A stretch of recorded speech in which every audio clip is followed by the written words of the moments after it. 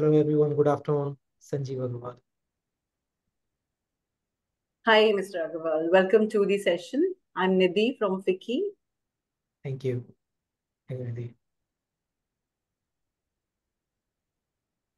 So without further ado, I, I welcome you all to the fourth Climate Startup Showcase being organized under the aegis of the FICCI Center for Sustainability Leadership. The center, as you all may be aware, has been set up uh, for advancing the sustainability journey of Indian industry with special focus on SMEs. Hindustan Unilever is the founding member of the center uh, today's session, uh, as we are aware, focuses on the theme of clean energy and low carbon technologies and has been specially curated by the center's knowledge partner, eCube Investment Advisors. We have amongst us a panel of experts who would share their insights and feedback on the presentations by the startups. Uh, we are delighted to welcome Mr. Bobby Pauly, Managing Partner at the One Planet Partners Fund, EQ. uh, Mr. Pauly is a seasoned investment professional with over 23 years of experience and specializes in private equity and strategy consulting. He has played an important role in founding the private equity business at Tata Group and managing the $600 million Tata Opportunities Fund. With a track record of successful exits and championing new investments, Mr. Pauly brings extensive expertise in value creation across portfolio assets. Um, Mr. Sanjeev Agarwal is our next expert. He's the founder and chairman of Hexa Climate. Welcome to the session, sir. Um, Mr. Sanjeev Agarwal joined Hexa as executive chairman in August 2023. Prior to joining Hexa Climate, he was founder, MD, and CEO of Amplus Solar. It's now acquired by Petronas. Uh, he received, um, uh, I'm very glad to actually announce this, that he received the FICCI Young Leaders Award in 2013 and was featured in Finance Monthly Global CEO Awards in 2016. Uh, apart from the uh, many other accolades, he has been chosen as one of the 100 most powerful solar business leaders in the Indian PV market, and many more accolades, as I said. Uh, we are grateful for all of you to join us today, along with our participants who come from various industry across cutting industry sectors uh, banks, funding agencies, and many startups who are finding their feet in the climate uh, and sustainability uh, practice arena. Uh, some housekeeping rules for, uh, for the session today. Uh, we have allocated 10 minutes to for the innovative solutions for each of the startups. And following each presentation, our expert panelists will provide their valuable feedback. we have kind of allocated 10 minutes for the observations as well. So total being 20 minutes allocated to a particular startup. Uh, time permitting, we will also request the participants to, you know, uh, put in their questions in the chat box or the Q&A box. Um, they can also raise uh, their hands and, you know, we can uh, unmute them and uh, they can ask the question live during the session. Uh, should I, I, I'll call the first startup of the day. Um, Mr. Manohar Bethabudi from Universe, uh, I welcome you to the fourth startup showcase. And over to you, Mr. Manohar, for your presentation. Just take a minute to present my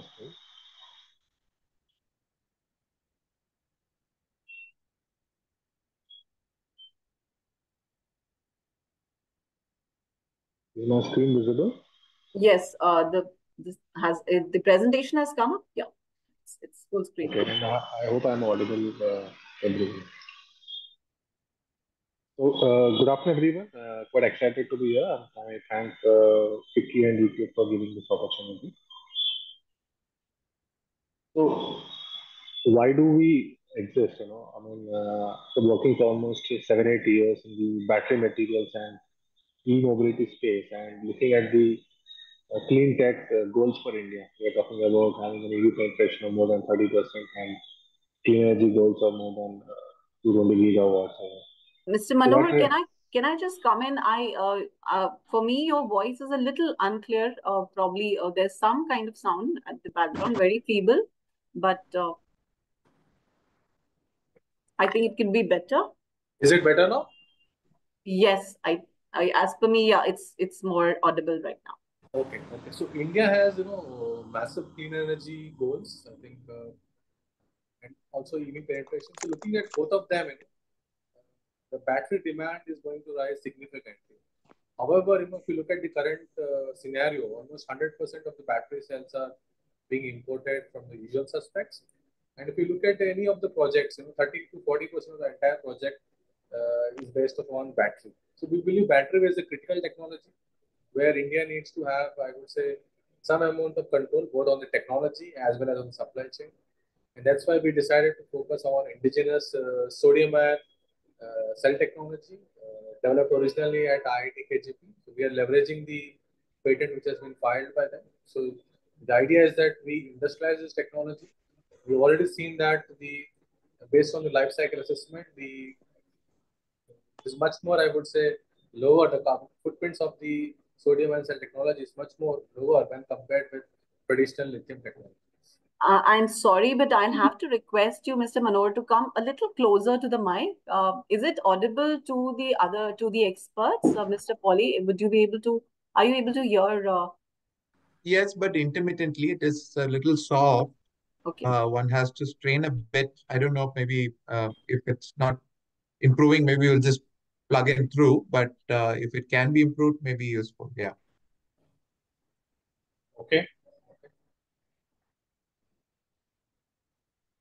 So this is the team. Uh, I come with almost 16 years of experience. Uh, last seven years in both clean mobility and battery materials. Uh, and uh, my I have a BTech in mechanical engineering from JNTU Hyderabad and an MBA from IIM My role will be fundamentally to get involved in market seeding, industrialization, and of course the critical, uh, I would say, fundraising.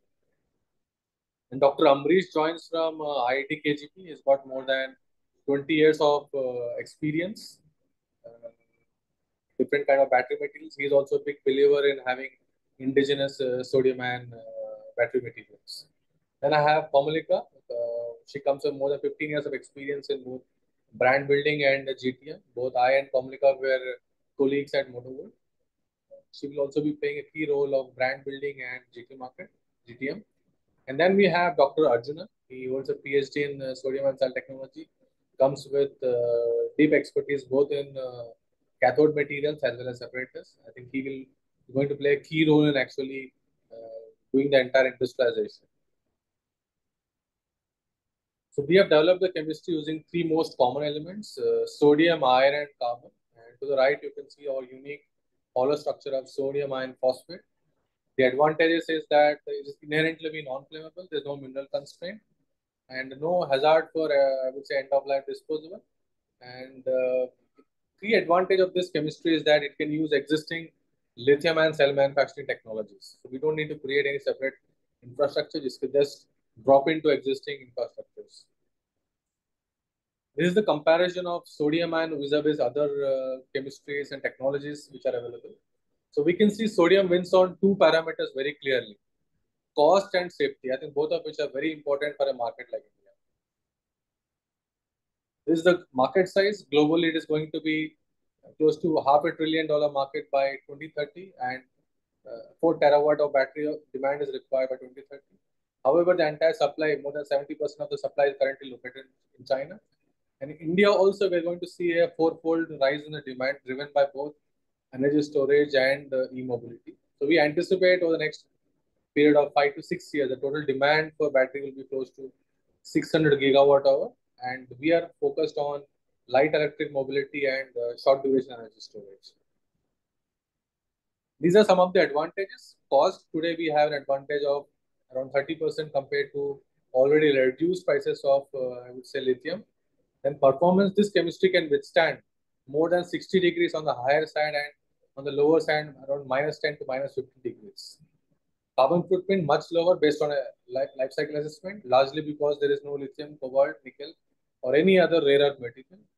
And critically, I think we are going to provide our country with strategic autonomy in terms of both raw materials and technology. We have seen how a uh, event in the past actually disrupted the supply chains and a critical technology which is going to drive the entire clean energy, I would say, transition uh, should be actually uh, available both in India, both from a technology and a material perspective.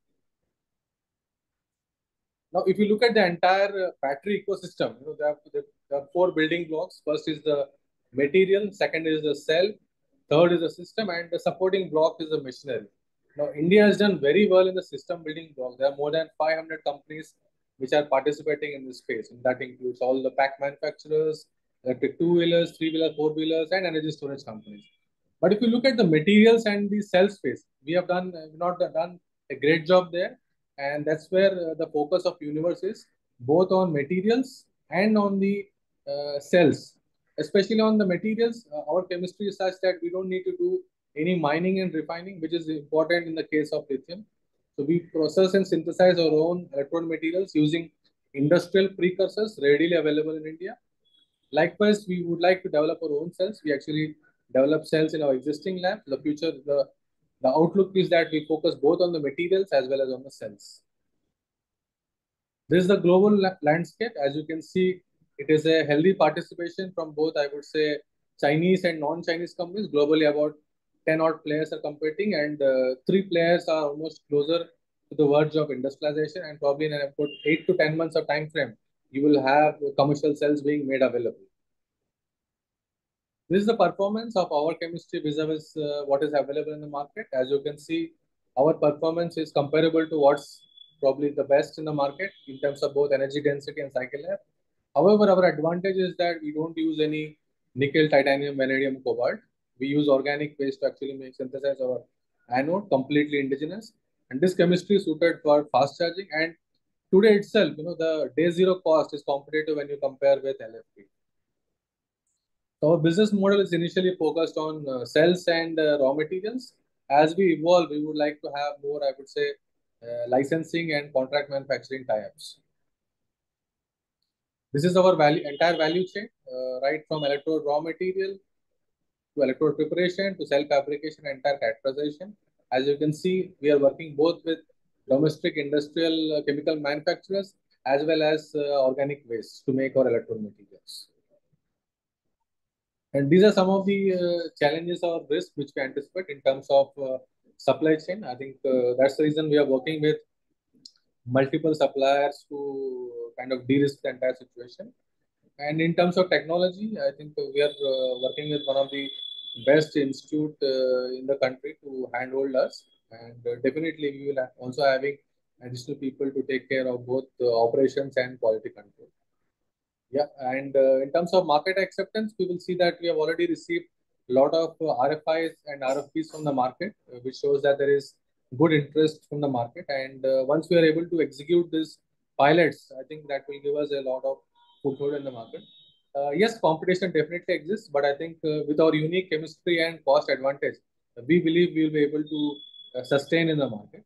And, and the last not least, I think one of the key uh, resources required to scale this kind of business is capital. And uh, we are currently actively in the midst of a fundraising process, I think, which will help us uh, take this technology to the, I would say, next logical level of putting up a megawatt scale customer qualification plant, which will help us to do a lot of a lot of the many pilots.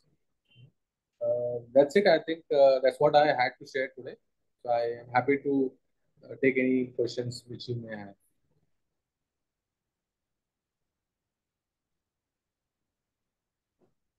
Manohar, hi. Let me ask you. Right. Uh, so I think it's a, it's a good technology. Uh, one of the questions that probably I just wanted to understand where do you stand today in terms of the POC and the some of the early stage products, or is it more in the research phase? We have actually completed the research. We have made uh, prototypes at our end. Uh, we have received uh, RFPs from a energy storage company and also RFIs from both e-mobility and uh, electric uh, two-wheeler companies and three-wheeler companies. However, uh, however, we do not have enough capacity to supply those large packs. So that's why we are actually investing uh, in a customer qualification plant where we will be scaling up our both electrode material as well as uh, pouch cell, I would say, fabrication facility. Today we can make very small quantities, which is okay as a proof of demonstration, but beyond that we need larger facilities. However, India does not have those facilities, so we'll have, we are having to create, I would say, at our end. That's where we are.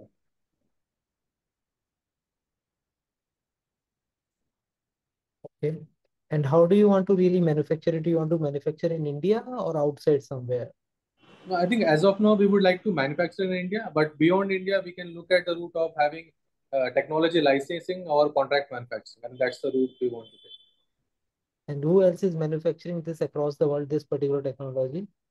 Uh, as I mentioned, there are globally 10 people who are operating. Uh, this particular technology? Yes. Because all of those are in the lithium ion space also, fairly Some large. of them, some of them are in lithium, but sodium ion, you are having only 10 to 11 players who are operating in this space. Okay. Any any reason that uh, you think that the people are so positive on the lithium ion as compared to this one? Because this seems to be much simpler and from the raw material perspective, this is much Yeah, better. yeah. Very pertinent question, and I am uh, often asked this question. In fact, uh, sodium ion chemistry actually started in way back in uh, 1960. Okay, much earlier than lithium. But at that point in time, the anode, I would say, chemistry was not well involved. So nanotechnology was not mature yet. And that's why this technology could not really catch up. And after that, uh, everyone knows the story of how China actually jumped in and kind of, I would say, developed a monopoly on the market.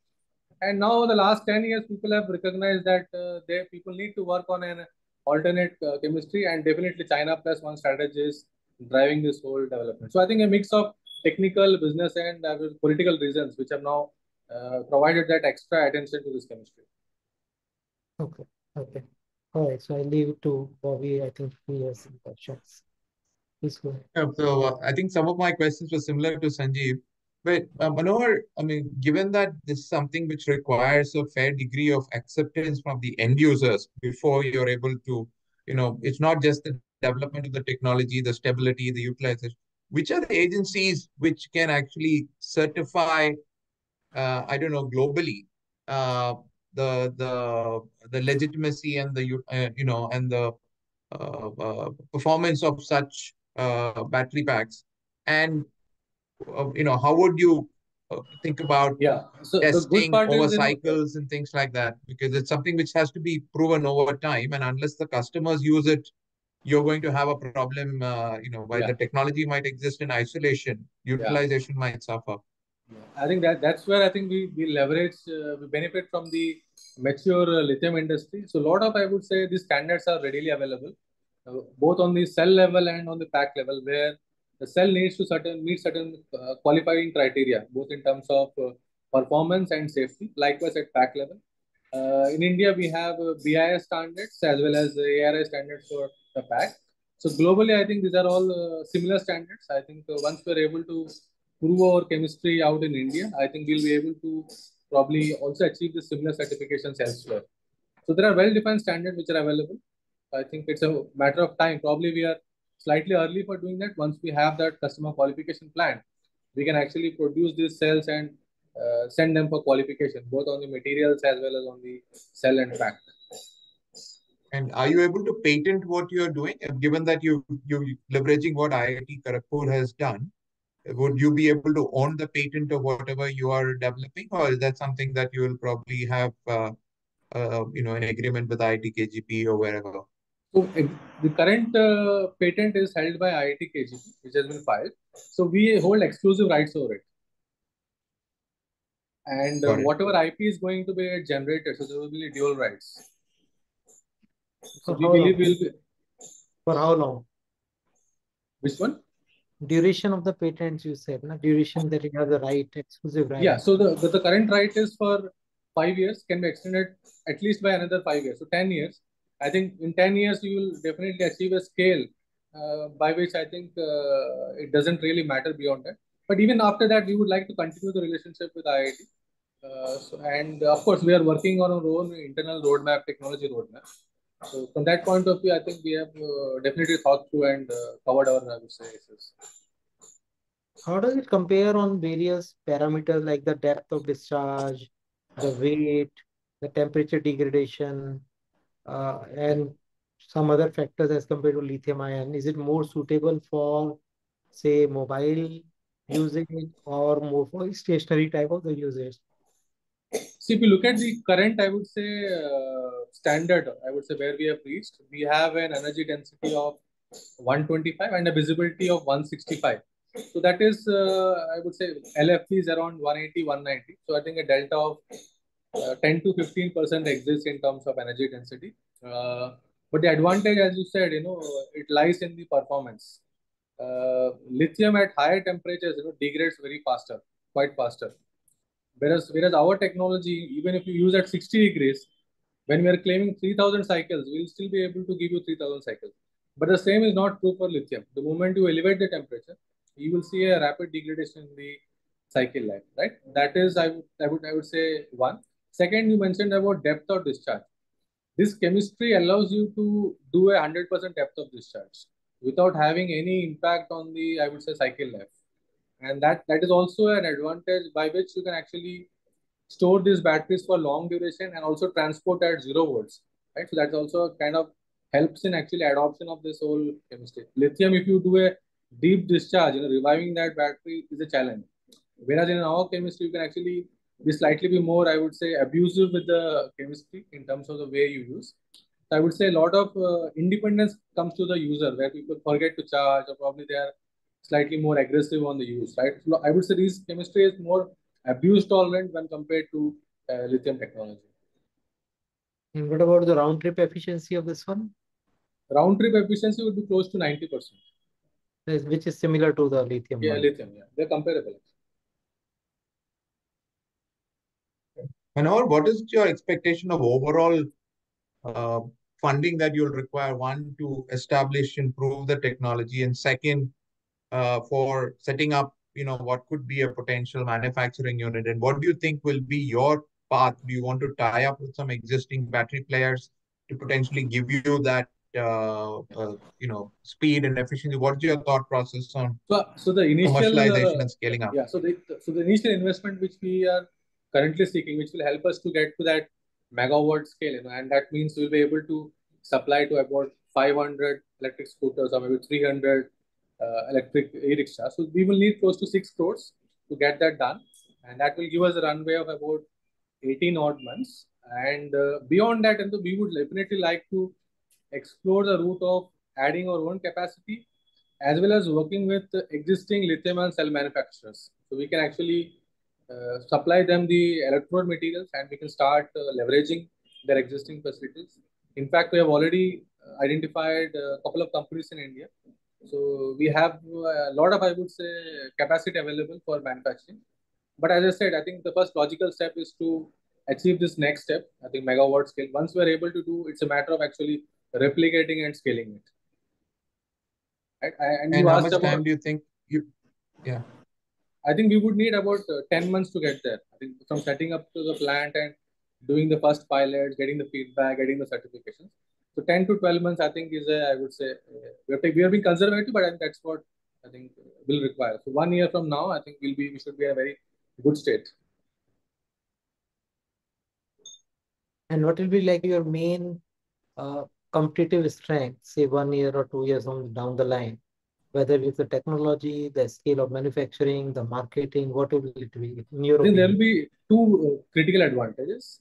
Uh, one is the technology. I think we offer the uh, completely indigenous uh, material supply chain, which is devoid of any rare earth. So that chemistry will be very unique to us, uh, very safe, and uh, at the same time cost efficient.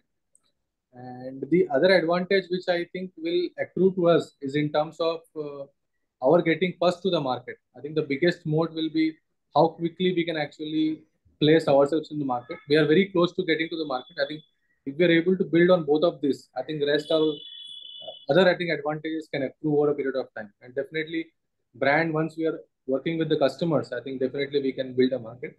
And the other area which I think you not mentioned is uh, substitution of lead acid market. I think our technology, both because of the nature of performance as well as on the cost curve, we have an opportunity to, I would say, disrupt a significant portion of the lead acid market. So that again, I think will help us in scaling this whole overall technology.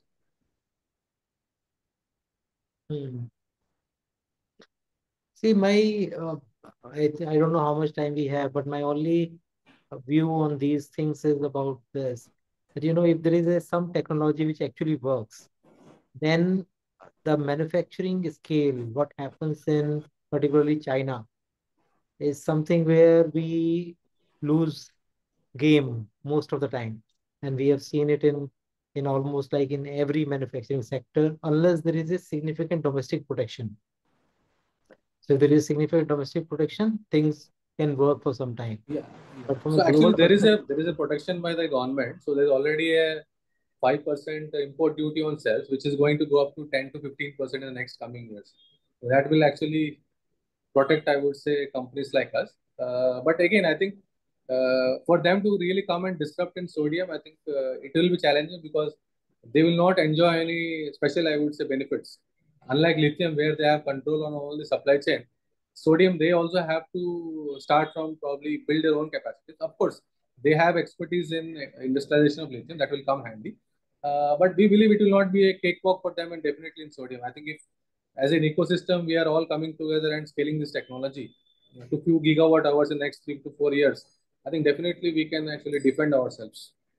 what do you think will be the cost per kilowatt hour? Like there is certain cost in lithium ion. Yes, yes. Today, today we have visibility of around uh, 50, 50-ish. fifty dollars per kWh. Yeah, yeah. That can be very competitive.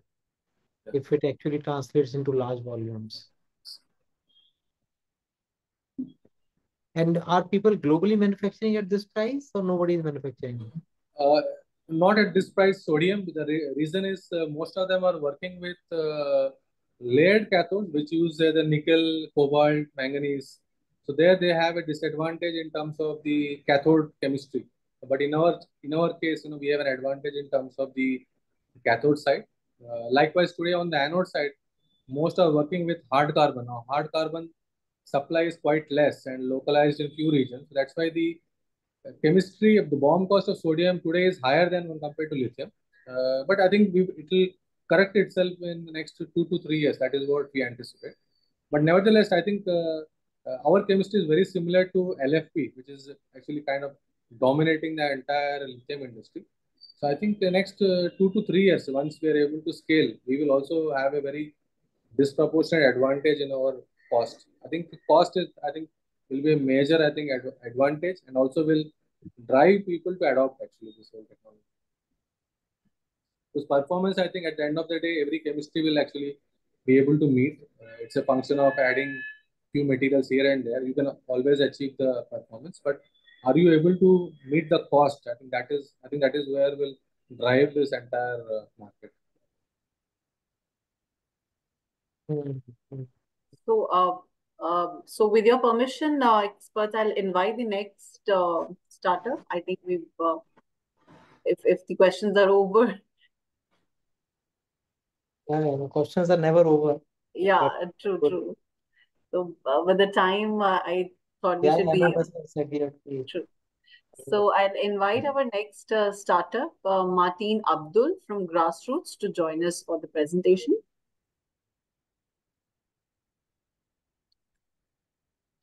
Usually, the first one ends up getting the most of the time. So, Yeah, yeah. need to be, yeah. Uh, hi, good afternoon, everyone. Uh, so, yeah, may I request Shikha to, yeah, thank you so much. Yeah, so uh, I'm Mateen, uh, CEO and co-founder at Grassroots Energy. Uh, we are uh, basically into clean fuels. Uh, we produce carbon negative clean fuels. Um, next. Uh, the reason why we exist is we are helping companies to um, address some of the challenges on ESG. Um, and there is a need uh, to address the problem of uh, reducing the scope one emissions by some of the companies have uh, has announced uh, carbon neutral goals. Uh, there is a need for a drop-in fuel with a minimal change in infrastructure. maybe the right word is drop-in fuels because with the minimal changes, people want to companies want to move to a cleaner fuels with uh, a pathway to hydrogen. And there are larger challenges of a lack of gas grids everywhere. And, and there are, uh, while there is a significant amount of agricultural waste, it is not being put to good use. Next. Uh, can you put this slide uh, in a full screen mode if it's okay? Uh, what we offer is um, a, a bio CNG and also a solution on biohydrogen. We'll talk about the hydrogen in a bit. Uh, the bio-CNG is a uh, is a versatile fuel. Uh, we can help uh, companies to produce it on the uh, site, uh, store it in different places, and transport it and feed into the gas grids, thereby providing the fuels. Um, yeah, thank you so much. Providing the fuels with a replacement for diesel, LPG, and even furnace oil, etc. So this helps to reduce the scope one and scope three emissions um, in a with a minimal infrastructural changes. The next slide, please. Uh, so it's a way, it's a fairly large uh, market uh, with a significant opportunity, and we're trying to get a, uh, share of that. Next. So uh, about uh, our credibility, we have been accelerated and invested by Shell, and we have been um, um, and different other ecosystems as well, including Zinteo, Harvard Innovation Labs. we have IP across both bio-CNG and hydrogen. we also have received a third-party validation from um, from consulting firm like KPMG and also received government grants from uh, in Indian government, UK, and US government. On the hydrogen, we have been working uh, with academic institutions both in India and in UK. Next. So the way uh, these are these are the various IPs which we have built, which helps us to offer the clean fuels in a cost-effective and most importantly energy efficient uh, manner. Next. So this is the process. Um, there are there are we can work with 30 plus different feedstocks, uh, which could be in the com which could be an agricultural or any kind of which is organic residues. Uh, the one with the green patches is where we bring in the uh, value addition across the value chain. We process that into biogas and then uh, purify the gas into natural gas grade fuel, and then we can um, uh, provide the gas to the point of consumption. Could be in a uh, processed manner, or it could be feeding into the uh, grid. And the residue from the operations, we process that into a biochar, which is a, a carbon um, permanent carbon sequestration solution. Next. So uh, just to give a little context, different feedstocks have different uh, yields. Uh, we can always mix and match in terms of what is available in the local area. Uh, and then uh, we are interested in producing the uh, quality and quantity uh, based on what what the end user requirements are. So we can work backwards in term to understand what is available and then uh, plan accordingly. Next.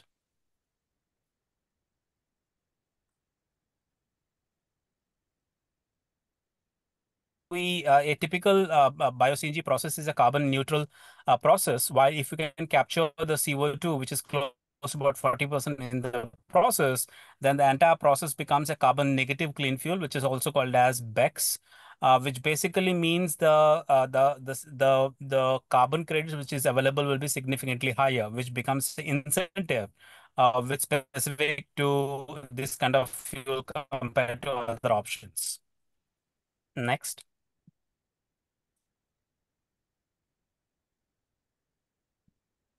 I'm taking help. So these are the three broad sizes, if I can put it, and then we'll have examples in terms of what we're doing with various corporates. Uh, we can work on the small scale, which is uh, uh, typically uh, producing close to about 600 kgs or under 2 uh, megawatt. Uh, and, the, and another mid category would be about, say, 6,000 kgs, and the larger category would be 12,000 kgs and beyond. and for each of these categories, we're working in those segments. Um, the next slide, please this is an example which we're working with Tata Power. Uh, we uh, they, they have a division called mini grids, uh, which currently uses uh, diesel as a part of the energy mix. Solar, uh, diesel, and battery bank is the uh, is the current energy mix. We're trying to replace the diesel with a closer to the point of consumption on um, close, closer to the point of consumption, the bio-CNG gets produced. As we speak, we are commercializing a installation. This will be operational by September and they uh, they have a significant mandate to scale this up. Uh, and we're also getting a support from uh, GAP, which is a part of the Rockefeller entity. Uh, this will be a showcase uh, demonstration project with a significant upside with this entity and also other other players in this segment. So this is an example where in the middle of the picture, you see a diesel generator which got replaced with a bio-CNG, which is, which is a gas generator where the fuel was produced um, near the point of consumption. At this point of time, we're replacing um, the fossil fuel in about 10 locations uh, with a, uh, with a um, scalable scalability and visibility. Next slide, please. So this is, next slide, please.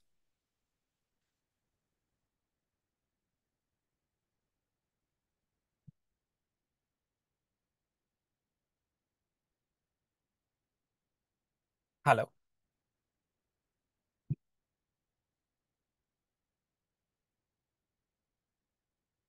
Hi, Uh, is the screen visible? I'm sorry, the screen has just frozen at my end, so I'm not sure. Is it okay now? Yeah, thank you so much. Um, So Priya. this is an example which we are working with one of the leading FMCG companies. So this is an example on thermal. Uh, so we uh, have done a techno-commercial uh, feasibility and uh, we are now in a stage of signing commercial contracts. Um, so the example here is we are uh, producing the clean fuel, taking it to the factory location. You reduce the fuel from about say high pressure of 200 bar all the way up to a consumption point of 2 bar, and it is fed into the uh, boilers in this case. And um, the the the methane on the top you can see uh, which is 90 92 percent uh, to give an understanding 90 percent and above is considered as natural fuel natural gas fuel. And uh, the the efficiencies uh, are derived if the fuel is beyond 90 percent uh, so this ensures that uh, the fuel is since it's a food food item in in this case which we are which we have showcased the quality and the multiple teams have validated the solution and we are now, as we speak, rolling out a commercial solution uh, for this entity. Next slide, please. So this is another example where uh, we are in the process of uh, uh revamping one of the existing uh, facilities in Gujarat where uh, the the gas will be fed into the gas grids, which it's it's an industrial industrial area, and some of the customers will be we are we are working with one of the city gas companies if how how can we distribute to the last mile um, in terms of users. So this becomes a one of the interesting use cases where the gas is fed, uh, fed into the gas grids directly. Next slide, please. So these are some of the um, uh, partners with whom we are taking the solution to the market. Uh, and the residue, uh, which is the biochar um, and the fertilizers, we have tested with some of the agricultural uh, universities. Uh, and this solution will be used to replace the chemical fertilizers in this case. The next slide, please. So this is the attraction we have built so far in both these categories. Uh, we uh, have a mandate to set up uh, some of these some of these installations. The model which we are looking at is uh, to build, own, and operate. I'll talk about the uh, funding and the mechanisms in a bit. Uh, the idea is to have a long-term offtake commitments from some of these companies, which be becomes a opportunity for us to engage on a multi-project basis. The next slide, please. So uh, this is the uh, uh we are uh, we have a robust uh, uh scale up mechanism where some of these projects we have a multi-year visibility and we are interested in um, deep diving in some of these in some of these companies with multiple locations and of course we are um, willing to talk to other companies in the similar adjoining spaces. Yeah, next slide please. So what is interesting, and this could be um, of interest, is we're using our know-how on the fermentation to produce the hydrogen. So what it means is using the same asset, uh, which can produce bio-CNG at this point of time, we can produce hydrogen. Uh, and uh, there is a know-how both on the microbial and also on the reactor design, uh, which basically means whenever the ecosystem is ready in terms of the offtake, equipment readiness, safety guidelines, etc., we can flip the switch and produce hydrogen uh, thereby offering a pathway to uh, hydrogen um, in the in the in the near in the near future. In addition, we can produce further quantities of hydrogen with the additional um, uh, equipment which we can add, which is a stage two, uh, which can produce incremental quantities of hydrogen if required. Next slide, please. So these are the different applications as far as the hydrogen is concerned, uh, which we believe could be a um, uh, short-term addressable uh, market segments, uh, which could be across the thermal and mobility applications and gas grids being one of the larger segments. The next slide, please. So we have, I mean, bio-based hydrogen uh, is one of the cost-effective alternatives compared to the electrolysis.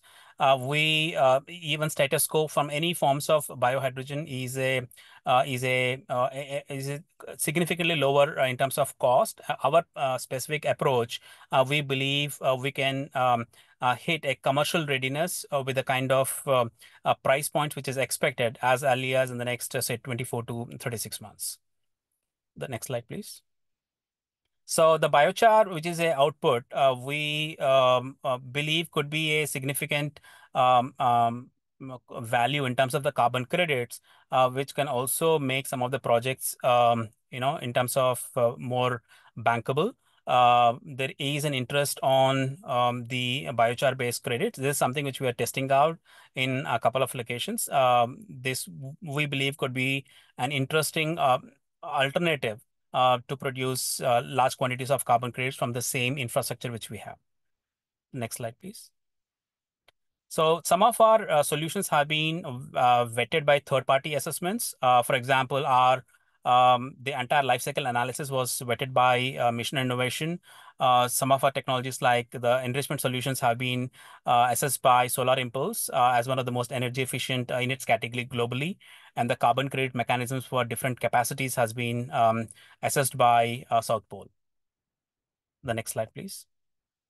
So this is the uh, operating uh, model uh, wherein we, based on the signed agreements from some of these corporates, we attract uh, project financing, uh, wherein we bring in the technical know-how and the uh, investor brings in the capital, which brings us a incentive for, set, for us to set up the SPV, which can have multiple of these revenue streams, and each of the SPV can have can house similar assets under each of the uh, under each of these corporates. So that becomes an operating model. That way we can be capital light as we um, scale up.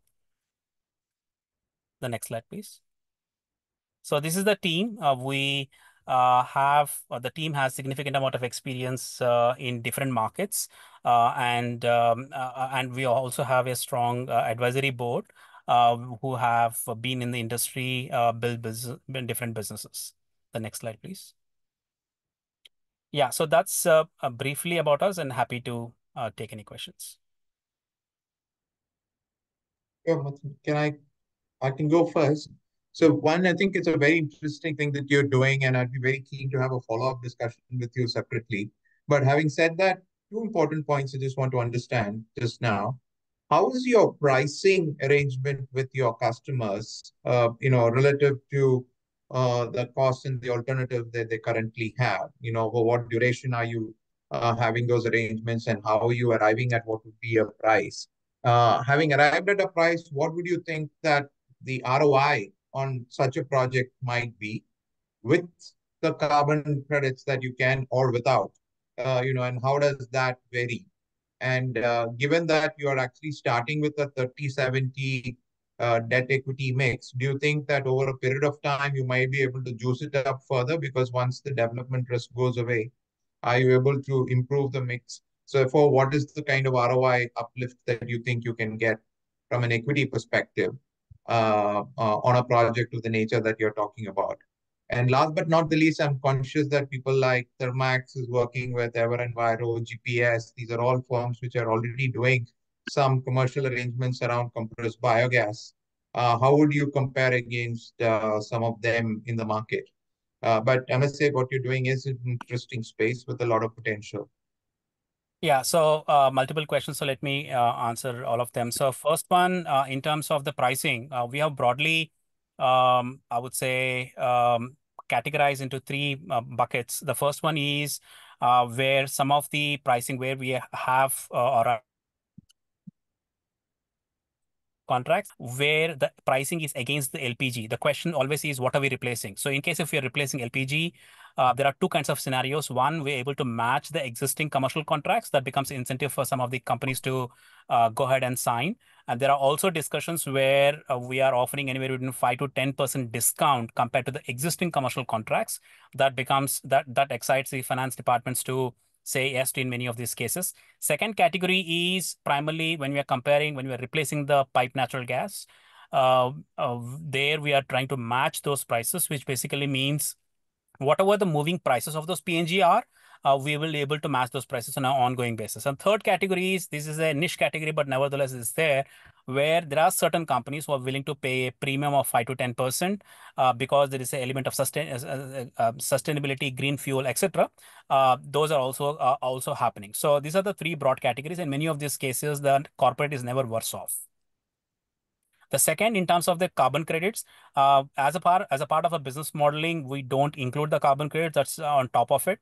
Um, so uh, we need to have a pool of assets before we can realize the carbon credits and uh, make um, a larger case. Um, so, but the business model does not include that.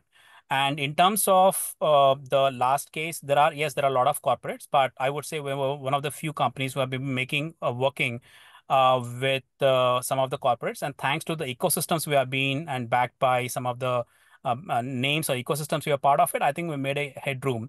Uh, I think even though we are a small company, we we have some of these active uh, conversations of fairly a large chunk of uh, companies, but I think we uh, have ironed out a lot of these uh, technical issues in terms of how do we deploy the equipment in a corporate setting? What are the kind of safety elements? How do we overcome the uh, compliances? Uh, how do we ensure that the uh, designing is done in different scenarios? I think there some of these expertise from some of the advisory board, who's also ex-Thermax and few other companies, is definitely helping us to accelerate our journey.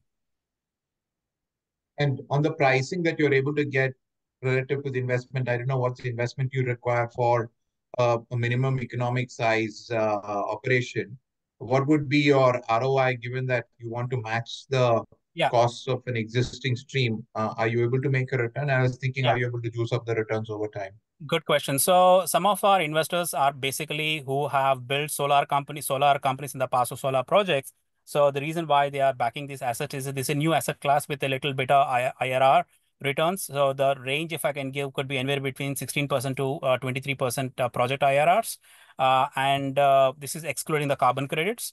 I think uh, it's always a factor of the gas, uh, the multiple revenue streams, which make this business a little more exciting compared to solar. You also got you got gas and also fertilizers. So any organization which can which has made significant work on the fertilizers becomes a icing on the top that becomes a um, better project returns. in our case, like I mentioned, we have worked significantly in terms of uh, uh, deriving value out of the residues. Uh, and if you can move into the pathway of biochar, it can only uh, make us case stronger.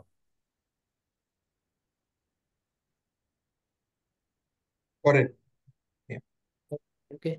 So I have a question, uh, Martin. I think it's a, it's a good field, and we are also doing some work in this area. Uh, so the biggest challenge to my mind in this industry is about the collection of the biomass. And uh, so, and people have different strategies to deal with that. People say we'll do our own plantation. We have these cooperatives. We have these farmers, etc., etc. We know the on-ground situation. But uh, how real is the risk, and how do you think that uh, anybody can mitigate it? Yeah, that's a that's a good question. So it often gets asked. So we have um, uh, worked quite a bit in terms of de-risking from a from investors and also from the corporate's point of view. If I have to categorize, there are four broad categories in which this biomass problem comes in. The first category is you you you work with the industrial residues like Pressmud, which is the sugar factories, then some of the agri processing uh, where you uh, where you can afford to have a long term offtake commitments and that is possible. And second category would be to work with some of the biomass aggregators. In fact as we speak we are tying up with two of the large biomass aggregators who are present in fairly uh, large chunks of the country uh, where we are trying to get into a partnership where they could be the sourcing partner and we will be the technology and a deployment partner that de-risks because they work with diverse range of feed, feedstock and they have built the credibility in the last um, a decade or so. So that becomes like a larger uh, catchment area uh, to reach uh, many of these uh, markets. Third category would be to work with some of the larger FPOs who has a fairly large farmer base. Of course, they have they they don't have some of the skill sets and the know-how. We build the capacity in those companies so that they know what is the standard operating procedure, etc. And we are working with some of the machinery uh, companies so that the, the, FPOs can eventually own uh, these equipments and the uh, incentives are there as far as the equipments are concerned, and some of the working capital can be arranged. The last category would be like you mentioned, which is the energy plantations, and we have built some capabilities on how do we do these energy uh, plantations and how do we optimize it. I think I think a I think between these four of these models, you can potentially set up uh, a bioenergy plant in most parts of parts of the country. Yeah, I think uh, theoretically it all sounds good, but people because I remember a lot of people set up the biomass power plants in the 2000s uh, between 2000 2010.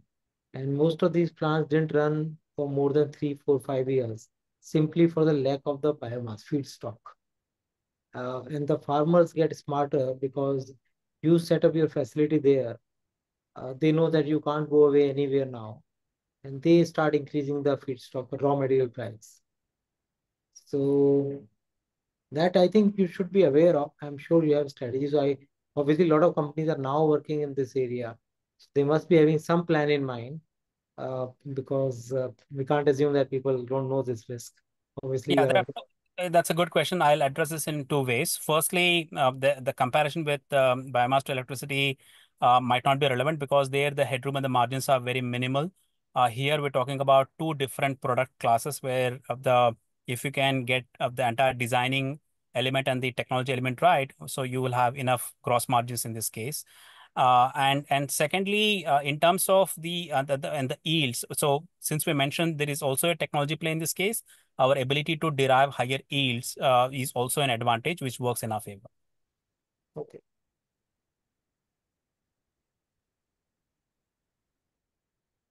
Uh, there, I can see two questions typed in the Q&A. Would you like to take them? Uh, one uh, by Mr. Didi. Uh, one question is uh, from Mr. Didi Maheshwari. He's asking the logistics of raw material for a 5000 M3 plant.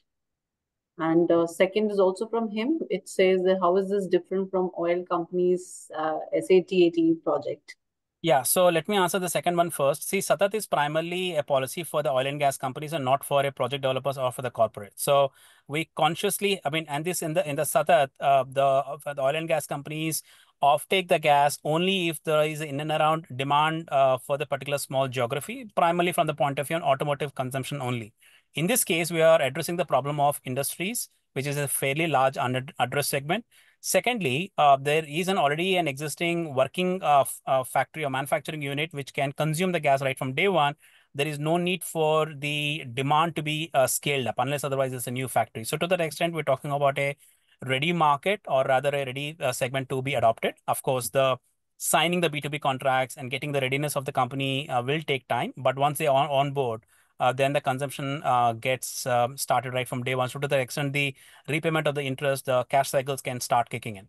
In terms of the logistics, I think I um, uh, quickly answered these four categories. So depending on the location, uh, in fact, before we say yes to a corporate, the first thing we do is something called techno-commercial feasibility study, and then a detailed feedstock analysis. In fact, we're using some of the satellite data and some of the technology to make use uh, of the information, whether the particular geography has enough feedstock availability over the last few years, so that we have a robust data to support uh, before we can take a, a call whether to proceed into the conversation or not.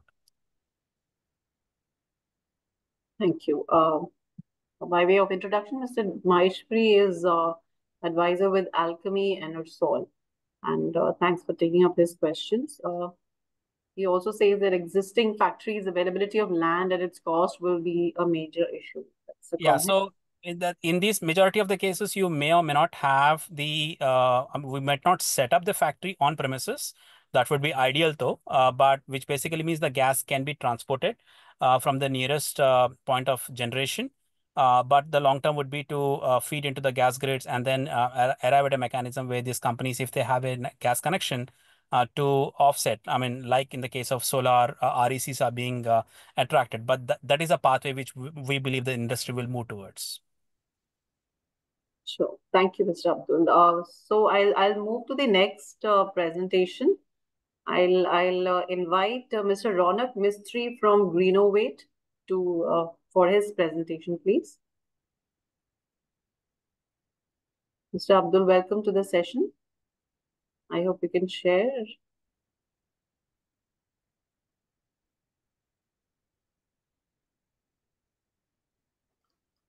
Hello. Hi. Good afternoon. Hi. Thanks. Thanks for giving me the time and opportunity out here for presenting about Greenovate.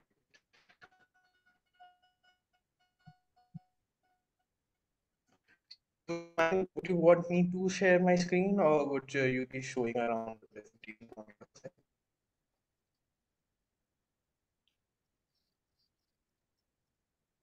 Hello, am you I audible? yeah, you can share. If there's an issue, then we can also share. So. Am I, am I audible clearly? I guess, uh, is there a lag or something? Yes, we can hear you. Okay, thank you.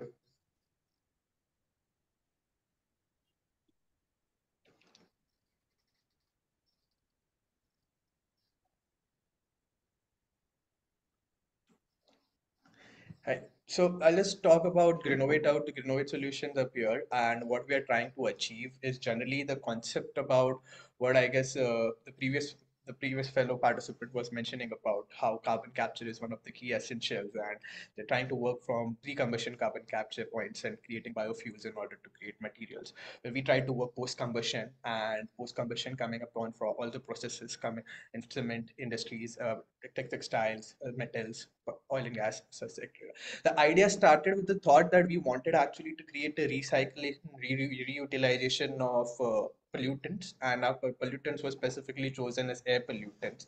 And the challenge happened around was that we want we figured that as the first stage first stage of any recycling is going around to collect the pollutant and we could not figure out how are the challenges in order to collect pollute air pollutants since we went to the source, we went to the culprits where the emission happens and we went to industries. And the idea is that we can capture the industrial pollution at the source point itself and then try to convert it, convert those emissions into resources which can be used for various other purposes. That's the philosophy behind the uh, basically that's basically talking about Greenovate solutions. How we'd like to say is that in industries contribute majorly 30. These emissions are generally considered upon from the hard to abate and the heavy sector industries are the oil and gas, petroleum, steel, and cements and other areas. But what happens is in the industrial norms, the 20% scale goes for the small and medium sector industries, and uh, the, the the small and medium sector industries are always to be the most neglected and the most back-ended part around. But these SME sectors do contribute still to the national and global 20% of carbon emissions. And now these industries have a bigger use case for carbon capturing going around. But what they find upon is there is a challenge that there is no technical feasible um, technology available, which is particularly for the applications for this sectors. So, Mr. Yeah, Mitchell, Nidhi, sorry. yeah, hi. I could sense uh, there was a bit of a time lag. Uh, I don't know whether it's a network issue, but if you can, you know, probably uh, try closing the video, uh, maybe it will help.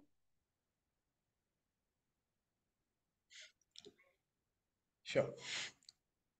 I'll try that. Okay. Yeah, please go ahead. Uh, so I'll proceed ahead uh, talking about uh, car carbon capture. CCUS is generally uh, used in the heavy sector industries. The civil infrastructure comes along with expensive equipments, takes upon a big space of land. It's process intensive also, does not uh, takes upon low consumables for its operation and is not feasible for low volumes below below 1000 tons per day capacity. So uh, generally the small and medium industries from FNBs, from specialty chemicals and other sectors, which would generally make around 15, 20 TPDs of emission. There's no techno-economic feasibility scale system out there available for them to come on to CCUS. Because up here we're talking about an industrial scale where the general applications are about for 2000 tons and over here it's 20 tons. It's more than like 100 times the reduction around happening. So that is the difficult challenge. And we try to focus upon that challenge and convert it, made a technology which can scale down carbon capturing and make it feasible for the SME sector industry. And then that's why we introduced to you Tube CCU unit which is plug and play and is completely portable, requires no civil infrastructure, no foundation work to be built upon. It's specifically designed to operate for 10 to 5 TPDs around and so can be additive for more, more uh, increment into the volume capacity. It still delivers the same industrial grade efficiency of CO2 capturing, but at a reduced capital cost and a reduced operating cost. Now, how we done is like we've not created any new uh, one new new process system or such, but we have created a new reactor uh, for a process engineering point of view, which is a combination of existing standardized uh, chemical operations and systems available. We've clustered integrated this process by by changing this process parameters to create our own unit operation, which we and we've put it out into a shipping container up there. So generally the the reactor column and the with the with the orange and the yellow yellow yellow modules are the are the reactor columns where we actually try to put the entire CCU system in a horizontal structure and with inlets, which is the chimney outlets from the industries, directly passing through our systems, uh, we uh, capture the carbon dioxide uh, with the consumable that can be recycled and reused for 900, uh, 900 more than 900 cycles and can temporarily store CO2 at its end also.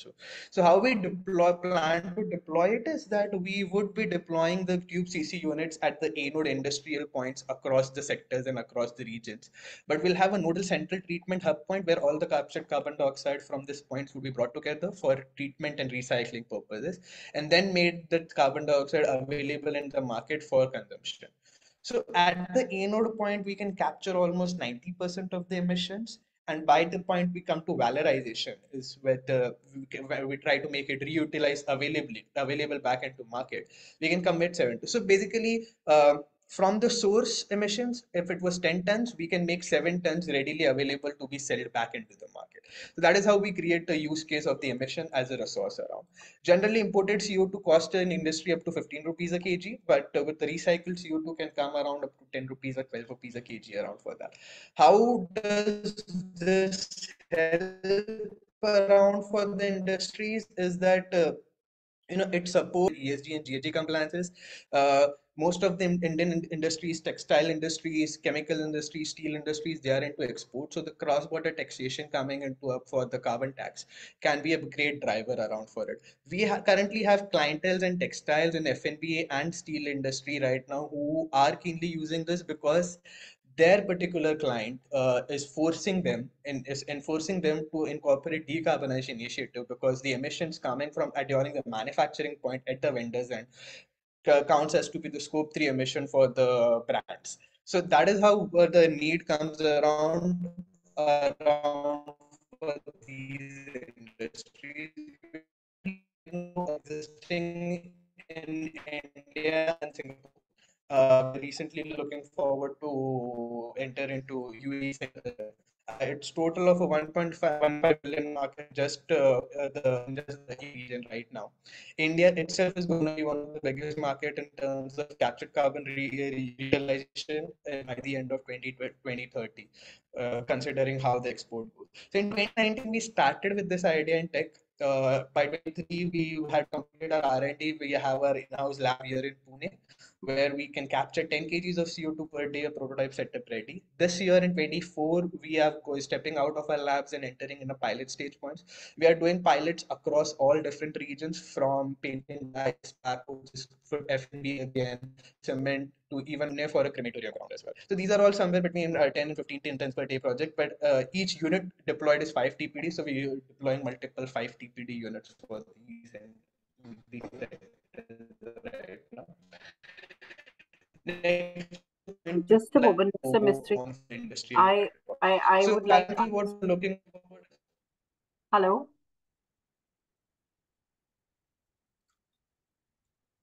Yeah, please. Nothing. I was like, you can continue, as in your voice had a lag. That's why I came. Sorry. Please continue.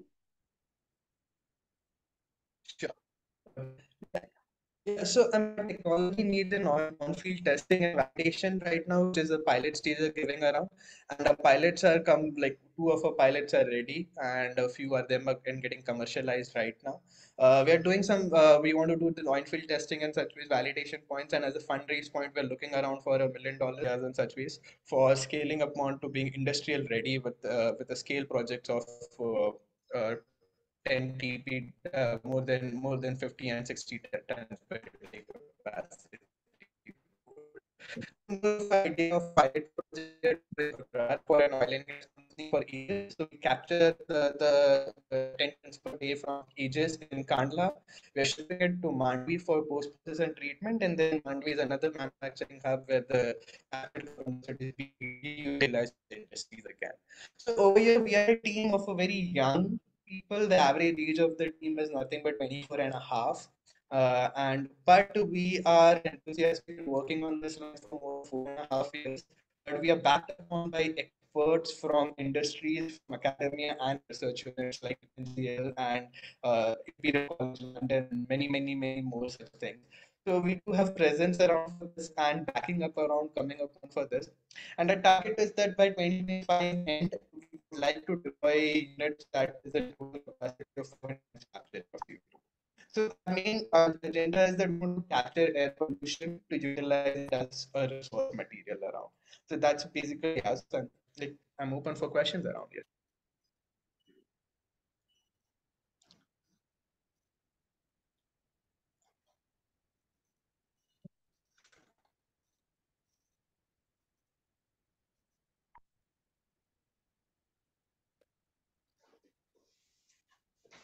Uh, Ronak, a quick question about this one. What is the status of the POC that you mentioned that are they operating right now or is it a more in installation phase? Yeah, so we are right now on five total of POCs, of which uh, two are or two are operating.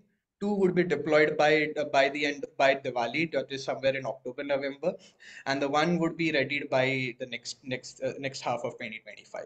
So that's that's a stage. How long, how long the two have been operating? What is the duration? Oh no, they have not been operating for a very long time. The total the total runtime for them is nothing more than but two months, two to two and a half months uh, approx. Oh, okay. No problem. Thank you. Sorry, I couldn't hear uh, uh, very clearly a lot of what you were saying, but Ronak, I don't know if you touched upon what what would you think? You said you're rated, you're doing multiple units of 5 TPD as your capacity. What would you think could be the investment that each unit would require? And from a business model perspective, how do you uh, think about, you know, your revenue and uh, your uh, uh, uh, and, and how, how are you thinking about return on investment on each of these units?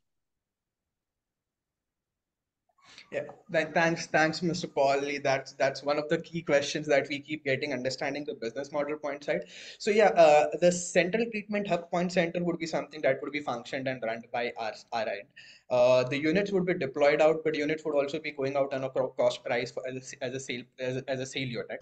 Each unit would be coming across for a five tons per day capacity, somewhere roughly of uh, 70 to 75 lakh rupees. And as you keep going up on the volume size, if, if, if you go for a 20 TPD unit, then that'll come around 1.5 CR or such way. So it will vary from a 75.75 uh, to 1.5 CR uh, unit. Uh, and more than that, the centralized treatment unit center would be the point where we will be treating it, and post treatment we will be delivering it. So generally, as of now, right now, what we are doing is the retailer to whom we provide the carbon dioxide after treatment, we are setting up the treatment facility at the retailer's end itself. So all the captured carbon dioxide from the uh, from the anode points industries is brought to the retailer's site, and at the retailer's site itself we treat it.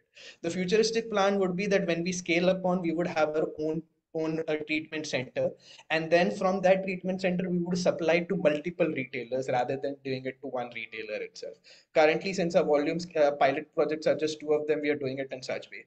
Uh, that there would be again a revenue share on the on the on the captured co2 uh, trade, trade supply. Post the, the other things would be other revenue streams are about the annual maintenance for the units uh, which are deployed already on field. And the other benefit is around where we also provide them compliances and certifications and carbon auditing services and those points, which would be also for the industries to whom we are deploying these things and also for the retailers inside. This, this reportings could be used by the manufacturing unit industries to pro, to provide it into their compliances to when they act, when they're actually presenting towards their clients or when they are certifying their products or such ways. So this is the various streams which from which multiple sites of revenues would be provided coming around for that. But as the right now the volume is less, so we are setting up on this treatment unit at the retailer end itself. But yeah, in futuristic plans would be that we'll have our own retailer retail endpoint. In future, the plan would be all would also is also comprising around that we would have a heavy volume of emission being captured and coming towards us and a low demand for the consumption of the captured CO2 in such case then we would be uh, we would be shifting the captured co2 to uh, to eor and the uh, deep deep uh, sequestration and the deep uh, deep storage point sites which would then convert credits also So then uh, when we actually go towards the scale, then carbon credit generation would be actually brought into picture. That would require minimum of a point where there we have already 15 or 20 industries node point out and a central unit handling all these 20 industries. And when we go and each industry approximately of 20 tons per day or something. So at that scale point we would be able to achieve this uh, sort of a work which would be 4000 tons a day or something. So that is how the model will work. Right now in this pilot stages we are setting up a treatment units at the retailer end itself. And on a related note do you see are there similar to you technologies or companies for instance in china or some other geography who are doing similar to what you're doing? And do you see that as, I I don't know where, where your competition could come from? Um, because if somebody is deploying this solution at scale, do you see that undercutting? Because uh, over time, um, I mean, I think the costs of uh, through CBAM and other things, the cost for industry would only keep increasing, and it's equally relevant in other geographies which are exporting into the European uh, markets, for instance. Um, yeah, I mean, uh, firstly, if I have to just talk about other competing technologies or other competing company in the same field and same arena, uh, so over there, if I have to say, uh, in India as such, uh, most of the players are coming out from abroad, coming coming from outside and performing out any of the carbon capture projects that are existent on CCUS line side. India is right now working around where we have three to four budding CCUS technologies coming from three to three to four startups like us, but that's a total sum of just three and four. Uh, I can you can completely round it out uh, at five startups who are working around on developing an in-house Indian technology on carbon capturing sidelines. So that's there, and everybody has their own merits and such ways competing with the existing technologies uh, which are brought upon from US and UK and UK being the specific hub point for CCUS line size, we have a very big price advantage. So many uh, from the current clientele that I have, we are surely doing five pilot projects, but I have right now interest coming around from nine to 11 industries with the, with the signed LOI of them. Uh, and each of the industry has a project of uh, almost 1.5 to 2 CRs around coming. We also have interest coming around from cement industry industries in Abu and ways. The reason being these industries have shown an interest is the competitors from US, the UK, which are coming in. Their, the pricing is almost four to five times to what we are what we can commit upon for. But although we are not ready, hence everybody is on a hold up point. Uh, we uh, on another line on a geopolitical scenario when you talk about why the other uh, why the other nations would be working around for. So when we work with Singapore, I actually work with Singaporean government to create a cluster. In everywhere existing around on CCUS lines or CO2 there is clusterization model which goes around where the carbon captured is brought to centralized location and then pumped into oil and gas storage points and EOR activities and other things which is actually handled by the government or a government body or a government assigned authority. This is the model which is the most predominant model used in UK but this is only for CCS which is called carbon capture and storage uh, what we are promoting up here is a CCU, uh, CCU cluster. So generally clusters have been designed and this model has been uh, phenomenally tried out for storage side points. But what we are experimenting is to do utilization. We are creating a carbon cluster, but the focus is for a use case point. So we don't want to store it and we want to use a storage as a thing. Now this has worked best when you have a geography which supports this thing. Now, considering what when I worked in Singapore with the Jurong government, Jurong is an island entirely designed for industrial activities, and it has super superb and phenomenal infrastructure. So when we plan around something for like something like this, where the emissions of one industry is directly used up, and all the emissions of the island stays within the island itself, the infrastructure and the geography should support that. Whereas in India, we have located out many such cases uh, such cluster location, of, of which the Gulf of Kutch, the Gujarat Bay area, happens to be one of the best predominant sector. So is the Paradip region in the eastern coast side. So these are the two areas where clusterization could be freshly bought. Also, the I IDCs, rather it be the GIDC, Gujarat Industrial Development Sector, cluster or MIDC or PIDC or anything, the state government uh, IDC sector areas are also very beneficial if we want to deploy such an activity around for. So we do see there is a potential where we in, uh, we can use cluster models for utilization cases in India. Uh, and I mean, we have, uh, the, it's just the scale, if I have to talk about difficulty and challenge, is the scale because the emission scale is much more currently at today's time in India as per what the demand for CO2 is, the captured CO2 is in India. So the ones that demand also keeps increasing uh, and which we are seeing a rapid increase of that also coming around. Once that keep, keeps up par, we can use our own emissions to create uh, to to suffice to our needs. That's that's the vision up here. Um, with the permission, uh, uh, there I can see one hand raised. Uh, I'll allow Mr. Iram uh, from E-Waste Social. Uh, they have a question.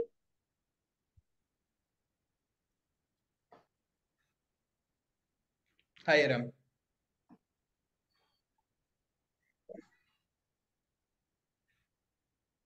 Yeah, hi. Um, uh, hi. Uh, this is Iram here. Hello. Yeah, you're audible. Please Yeah, go hi. ahead. Hello, hello, Yeah, I just wanted to understand, like, you know, this carbon capture, could you be, it would it be possible for you to do it at a, uh, like, you know, you said you have a five ton and a 10 ton capacity, but then there are, there are smaller, like, you know, plants, which I'm talking about is like waste management plants. Would it be possible for you to Hmm. devise some solution for those plants as well? Uh, So yeah, I mean waste management, or I mean the previous uh, the previous participant mentioned that in biogas production also there's a Hmm. kind of ca ca carbon dioxide emission happening uh, during syngas production. So we have worked around with those projects as well. So I mean it just depends what is the volumes that we are trying to work. Industrially designed the the the reactor the model setup structure goes around is particularly designed for 5 TPD. It can also operate for 3 TPDs and such ways but I mean, this is the product that I mentioned around. The tech can surely work around in different scales also. I mean, current unit that I have in the lab is working for 10 kgs also. But okay. uh, it would not be then a recommended point on a when you when you try to uh, jot down all the economics for the runtime, the operation, the business trade, the logistics of the captured carbon dioxide and everything if if everything fizzles out then it would be a suggested idea uh, for a very low volume application like maybe 100 kgs or something Hmm. uh, but technologically wise it is surely possible whether the economics works out we have to understand as per the case that you are trying to pitch Okay. Okay. Uh, Okay. Ronak, I have one more question. I think uh, we should uh, consider the last probably. Uh, we are running out of time. I want to be, uh, you know, giving time for the next startup as well. Uh, so there is one question by Mr. Rishabh R. There are other two. Maybe you can take it up separately and type in the answers. Uh, Ronak, I'm requesting you. This one uh, would be, uh, you know, what contributes to lesser selling price of carbon dioxide captured through CCUS tech versus other sources? Is transportation cost included in the price comparison presented by you? Yeah. So, uh, firstly, asking around uh, uh, about the point, what what what is the price benefit of captured carbon dioxide? Yeah. So many a times when you try when you talk when we talk about uh, utilization of CO2 in industrial application, rather it could be welding, rather it could be calcination, or rather it could be any of the storage or cryogenization purpose or such ways. Uh, these these application areas, specifically calcination, for example, does not necessarily require a high grade CO2, which is like and even function for 60, 60% authorities and such ways. But currently, lower grade We're losing you to network, because the only only grade material in which to CO2 can be sold in market. Am I fine now? When you say fine, when I just, uh, you know, come in, then your, uh, you know, voice becomes no, okay, I'll just I'll just quickly. So I was mentioning yeah, that please uh, there quickly no necessary need in many applications and industries for a high high grade material. Many industry applications can work on low grade uh, low grade CO2 as well. But uh, market availability of CO2 on lower grade is not available because it cannot be sold for lower material. There is no production of lower grade CO2 happening like as such. Hence, unnecessarily, these industrial sectors have to pay the premium price for a premium premium product which is not required as from them. Uh, in such cases, this kind of application works around where we can provide a CO2 which it can be of any grade or lower grade also, and that could be of a lower price and that can benefit rather than us to them buying up a premium product at a premium price. One is that. Second is captured CO2 can be much more beneficial because you can off you can show it in your offsets ESG compliances and other places in tremendous manner, and that could create a different different base of support. Inputs. Uh, why captured CO2 could be lower of cost in terms is the extra benefits when we actually add up. The economics actually will show that it can it can be brought down to a lower cost. Also, uh, industrial grade available CO2 many times is done by production of fuel or is done by chemical reaction.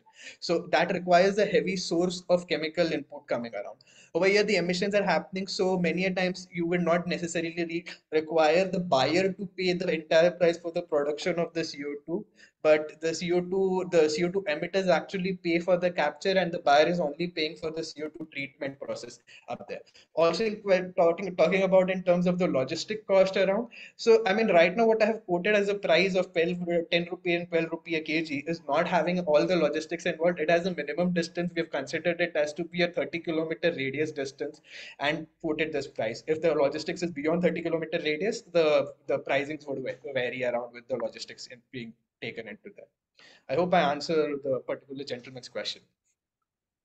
Uh, thank you, Ronak. I think you can take it up uh, separately as well in the Q&A box. Uh, now, moving ahead with very less time in hand, um, you know, I thank you, uh, Ronak. Uh, I would request you to take the questions uh, Thanks. Thank over you, chat. And thank you, Vicky. Thank you, Mr. Bobby, and thank you. Yes, I am getting some requests for presentations and also for connecting, so that I'll take after the session. And uh, now I invite uh, the last presentation of the day. Uh, Miss, uh, should I invite uh, Mr. I will invite Mr. Suhail Sheikh from Voltaics Alpha, Voltaics Alpha, to uh, please present his present. Yeah, thank Hi. you, Mr. Suhail. And I'm really sorry. We, you know, usually, but you have time with the permission of the experts. Uh, thanks a lot. Uh, so, uh, should I share my screen? Yes, please. Okay.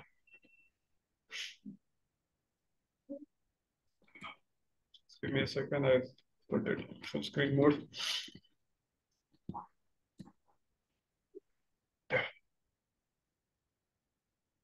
Are you able to share? Yeah, it is coming Yeah. up. Yeah.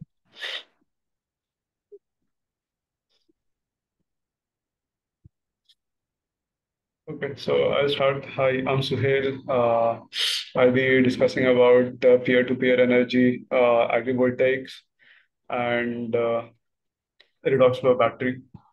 So, uh, Voltaics Alpha is a company which is incubated at Social Alpha. It is uh, very immensely supported by the Clean Energy International Incubation Center. Uh, so Tata Power is part of the uh, a, a private pa uh, public-private partnership between Government of India, Tata Trust, and Tata Power. Uh, and this is my team. Uh, I'm uh, I'm one of the co-founders. Uh, I graduated from Tata Institute of Social Sciences, uh, studying climate change. Uh, one of my co-founders is from IIT Bombay, PhD, uh, Energy Sciences, uh, and Parvesh Bharti uh, is uh, from civil engineering background from Pusa. So the challenges that we are trying to address is this: uh, that there's a uh, underserved market uh, of uh, electricity, uh, and of course, we want to achieve a lot of solar parks, but the land is unavailable for that. Uh, large part of the agriculture farms are being utilized for development of solar park. And the cost of energy storage is unviable. Lithium-ion batteries are expensive, so we are also working on a uh, chemistry uh, which is cheaper and will last 25 years. Uh, that's what uh, solar plant life is. Generally, a solar plant will last for 25 years or 30 years, maybe if properly maintained, and that's the kind of battery we are building. So uh, we have a solution where we are using net metering. Uh, we are installing solar parks uh, in agriculture land, but these plants are installed at 3.5 meter above the ground, and we can continue doing normal agriculture activities there. Uh, and we use net metering to supply the energy to a commercial or industrial buyer, along with the ESG benefits. Uh, in some cases, the carbon credit may not be available, but there's a separate arrangement to get the carbon credit uh, with Tata Power. So in peer-to-peer energy, we are also providing free energy uh, for the agriculture need. So part of the energy which is generated will actually directly be used on the farm. Uh, for storing energy at microgrid level uh, or for uh, maintaining the in some cases, the grid frequency needs to be maintained. So it requires energy storage. Uh, we have flow batteries along with IIT Bombay, and the entire energy that we produce is using ESG. So in a sense, we are working on a peer-to-peer -peer energy, uh, which will be the future of energy. Uh, I mean, like it's similar to a mobile phone user. I can use my phone and I can switch between Jio, Vodafone, or other networks. Similarly, uh, in in a decade or so, we'll be living in a in a situation where we can switch between Tata Power or Reliance or any other service provider, and we want the uh, farmers to benefit out of this uh, development. So as I mentioned, uh, we are uh, at present working on agrivoltaics where we'll install the uh, solar plants. Uh, at present, we are working on a 5 megawatt agrivoltaics plant in Delhi. the picture that you see in the background, that's 1.2 megawatt plant in Delhi, which is already operational. The agriculture activity has not started yet, but soon we'll also start on that. So the idea is pretty simple. The uh, subsidized energy or the free energy uh, cost is actually borne by the commercial and the industrial buyers in any city or any state. Uh, most of the farmers will get free energy, but actually the commercial and industrial clients are paying for it. So in this peer-to-peer energy network, we want to uh, reduce that burden on the DISCOM and supply the clean energy to the commercial and industrial buyer through power purchase agreement, uh, which are generally long-term, ranging from 15 years to 30 years agreements. So this is the uh, idea that we are working on. And also, I'll, I'll like to mention that uh, peer-to-peer -peer energy in India is very different uh, compared to peer-to-peer -peer energy in Australia, let's say Germany, because the policy which we have, it's not very conducive for the peer-to-peer -peer energy, but within the given policy domain, we can still work on the peer-to-peer -peer energy. So essentially, uh, the uh, at present we started with installation of uh, uh solar parks or solar plants ranging between one megawatt to five megawatt in Delhi, uh, and soon we'll shift it to solar rooftop businesses as well. And uh, there would be a ledger which is available for any buyer and the energy rates are visible. It's uh, easy to discover at what price any buyer would like to buy energy for a specific period of time. So uh, for this entire P2P energy, making it possible, uh, we are working on agrivoltaics. While we are working on agrivoltaics, we have designed the, uh, when I say design, we, we have the engineering design, uh, which makes it easier to work on the uh, work on the development of the solar parks along with uh, development of the agriculture. We are using climate resilient agriculture technique. The agriculture will, of course, will be done by us. Uh, and then a lot of knowledge that was available uh, different institutions are being converged to do this. For example, which seed to use, uh, which would be pest resistant, that knowledge is coming from Tata Institute of Genetics and Society. Uh, similarly, uh, I mean, like what type of crops will be resilient given the temperature change and the fluctuations uh, of uh, the weather pattern that is happening. Uh, that knowledge is available with the organization like BIEF. it's a FPO, which was also supported by Tata Trust for quite some time. The next part of the innovation is vanadium redox flow battery, which can store energy at microgrid level or grid balancing level.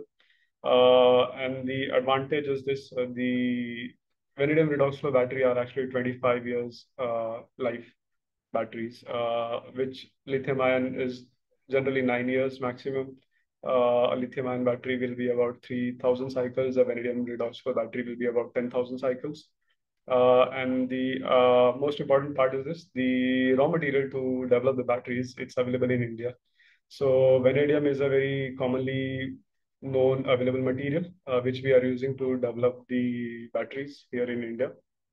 Uh, and of course, there are some innovations on the design of the plant, which uh, which reduces the use of concrete, which makes it, uh, I mean, resistant to wind at 170 kilometer per hour speed, uh, and also enables the protection of the equipment. For example, let's say the rainfall is high and the field is flooded. So how do we protect the equipment? So these are the minor innovations which are clubbed together to make it a major innovation.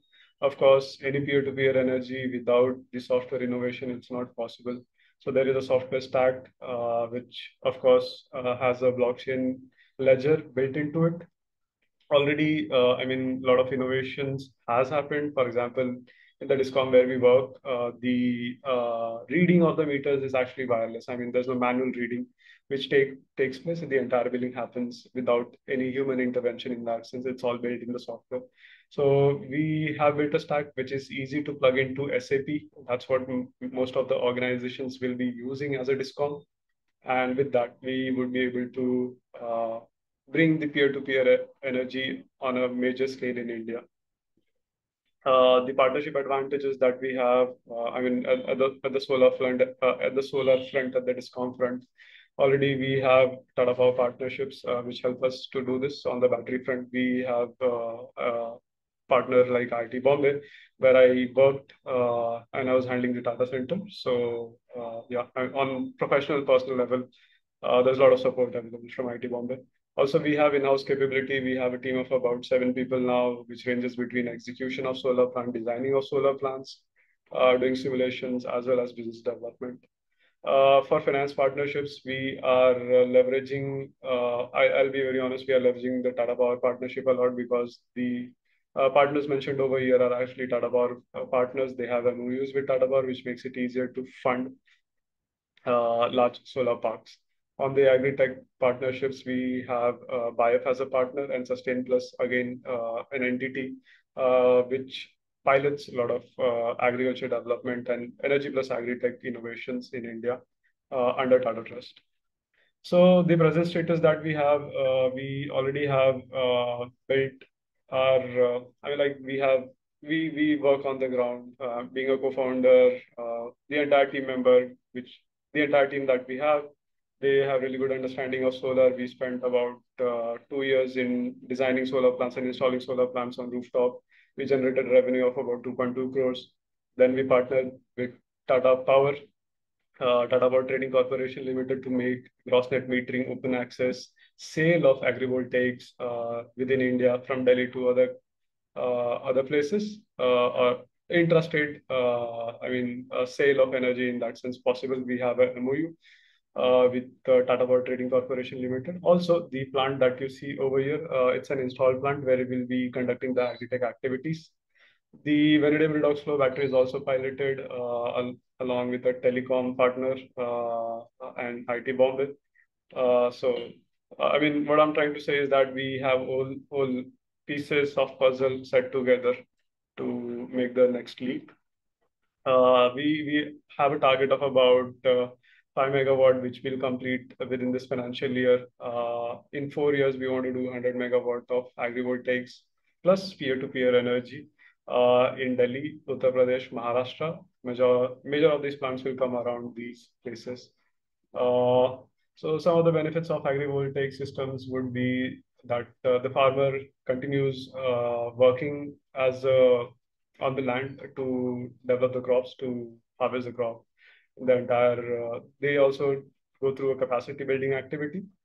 Also, some of the advantages that we have is that once we have the farmers together, uh, we can innovate more on the agri-tech front uh, because uh, they can be mobilized, the logistics becomes easier, uh, because the company uh, generally a solar park is a special purpose vehicle. Uh, so a special purpose vehicle along with a farmer producing organization will be able to take credit, let's say develop a food processing unit, uh, and could also diversify into other areas of food value chain in that sense. Also, we'll install small weather micro weather monitoring stations, which makes it to collect the weather pattern data very easy that helps to do helps us to do the scientific uh, backed uh, agriculture easily. Also, we reduce a lot on the water consumption. Uh, we also reduce the rate of the soil salinity uh, by uh, by using advanced soil sensor networks, which will be deployed in the agrivoltaics. Of course, the money which the farmers will earn from the land lease for solar will be different compared to the uh, income from the agriculture activity. So we are envisaging uh, the increase of farmers' income from 1.5 times to around three times. So essentially, the ESGs that we are uh, targeting, uh, I mean, we started with the idea of sustainable food uh, production. Uh, but essentially, we are also kind of a partnership for the goals. While we are developing the peer-to-peer energy network, I think we are encompassing covering more than the sustainable food uh, production target. So this is about Voltaics Alpha, open to questions.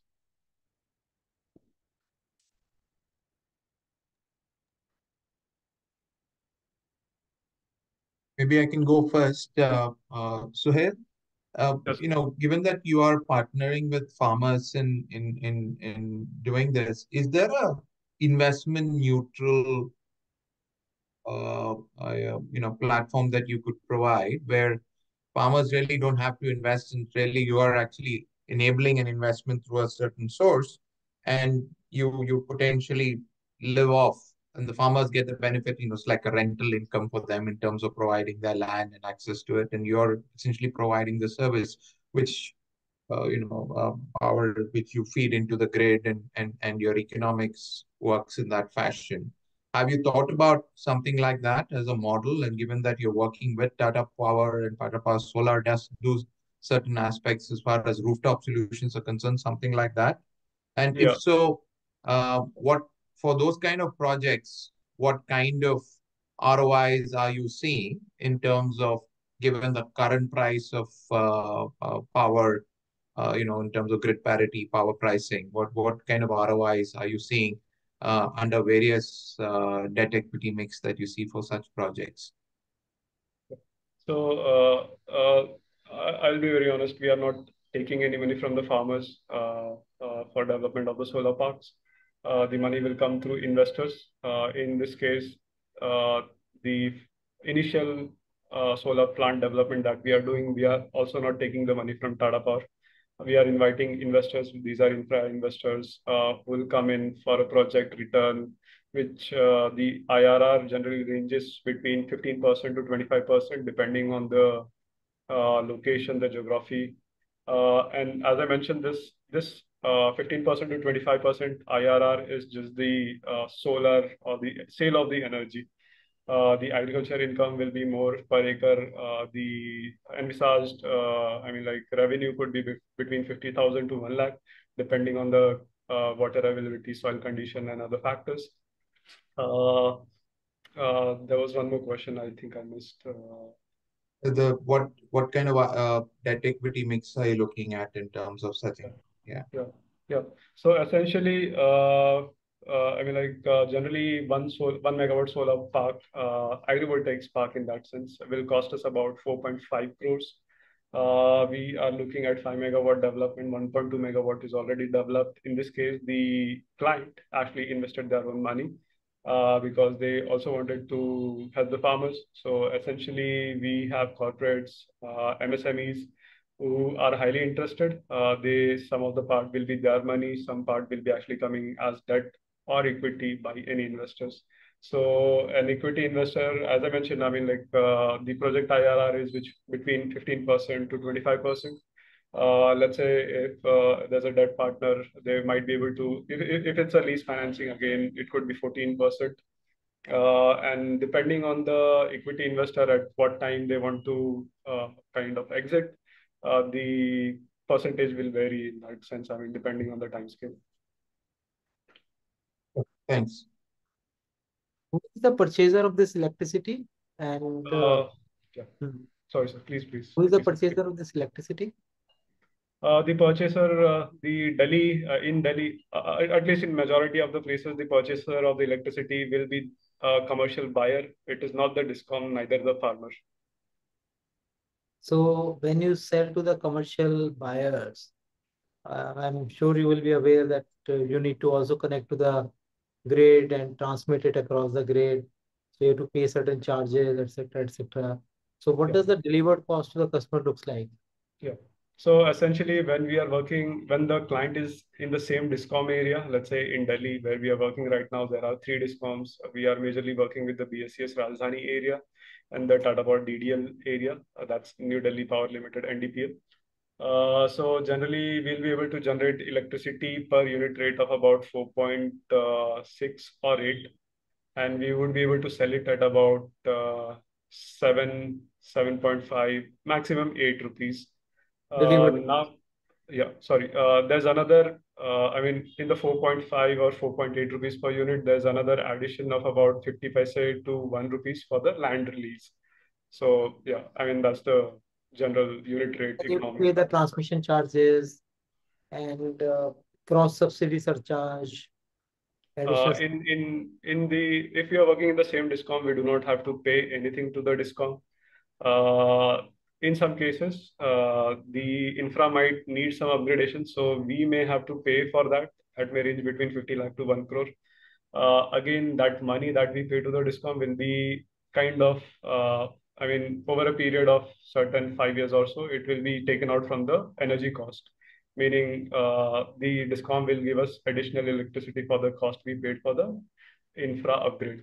Uh, in cases where the intrastate transmission is happening, in that case, we have to pay uh, to the discom uh, or to the transmission company or to the municipal corporation as well. In some cases, they may charge money. There is cross subsidy surcharge. You're aware of that, right? Yeah, yeah. So generally, I mean, let's say if I'm able to produce energy at uh, Maharashtra, and I want to supply it to some Microsoft, let's say in Karnataka. So I generate electricity at about uh, 4.5 and the cross uh, subsidy charges, including all the transmission charges and everything, it might range between 1.5 rupees to 2.5 rupees on the higher side. So yeah, I mean, generally uh, uh, a commercial entity may pay between 9 rupees to 12 rupees per unit, uh, depending on which location. See, cross subsidy surcharge. So if a customer wants to purchase from somebody else apart from the distribution company which is supplying in that area, they have to pay certain surcharge unless they set up a captive power plant. Yeah. Uh, Are you aware of that charge? Yes, so I am aware of the surcharge. So depending on the time of the day when I'm consuming the electricity, No, the cross subsidy surcharge. so generally, if you're saying the cross subsidy char- surcharge, what I understand is that the commercial is paying for offsetting the uh, farmer electricity or the domestic electricity. Yeah. That is the cross subsidization that happens in most of the state. So in our case, uh, because we'll be using net metering uh, when we are doing within the same state, uh, we do not pay any cross subsidy because we are directly giving the farmer free, free electricity. And also, uh, when we are doing the open, Yeah, But the farmer doesn't need it. You are selling Uh, it to some commercial customer. Farmer doesn't really need the electricity. You have to sell it to someone else.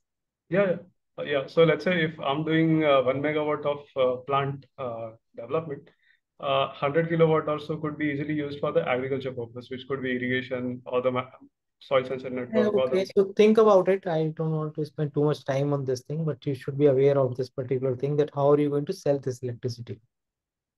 Uh, yeah, I mean, like we have already sold it. I mean, the plant that you see, it's already, I mean, like we have done it. And the cross subsidy charge that you're saying, uh, I mean, depending on the discom or depending on the state, there are different rules that we have to follow. At least in Delhi, uh, we do not have that.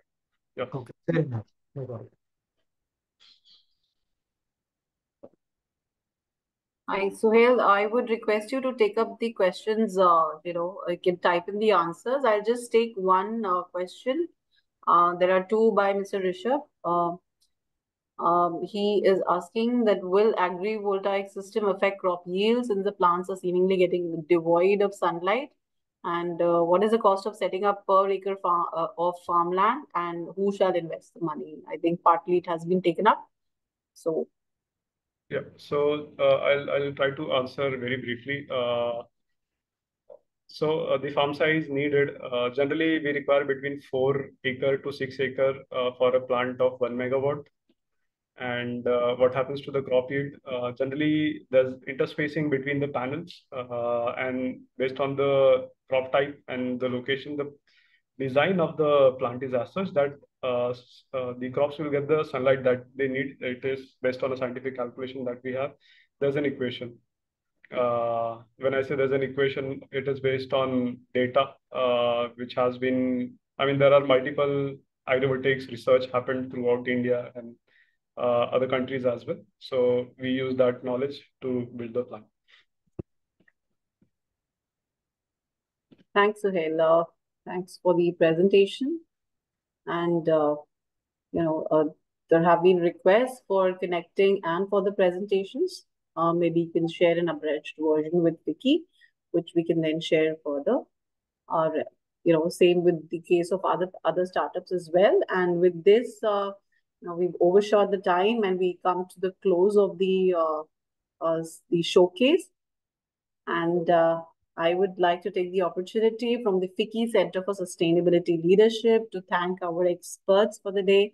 Uh, you know, they've, they've really been kind and stayed back. Uh, we've overshot by almost 20 minutes. Thank you, Mr. Bobby Pauly, for joining us and for your expert comments and questions. Thank you, Mr. Agarwal, uh, for joining FICCI. And we look forward to your continued support and presence at such forums. And with the kind of participation that we are seeing from the audience, I guess uh, it's really a, a, very fruitful session. I have been getting multiple requests to continue the showcases and to you know connect with these startups. We look forward to your presence in future sessions. Thank you so much. Thank you for joining. Thank you. Bye-bye. Thank you. Thank you very much. Yeah. Thank you.